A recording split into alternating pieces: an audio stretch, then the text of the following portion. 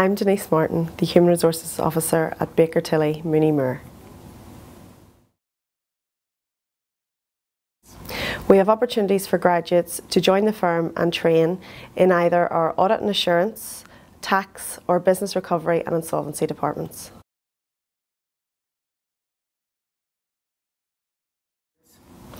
The firm is flexible and we allow our trainees in audit and assurance to choose between studying towards membership of either the Association of Chartered Certified Accountants or Chartered Accountants Ireland.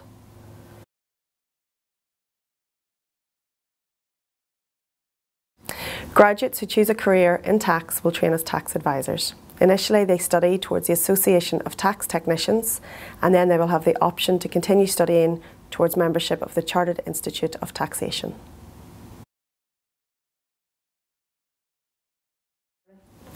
Business recovery and insolvency trainees will study towards their Certificate of Proficiency in Insolvency.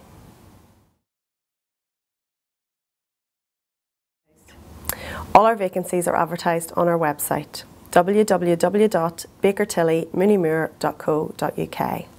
Our recruitment process is very straightforward. Each candidate will complete an application form and if they are successful in shortlisting will be invited to attend for interview.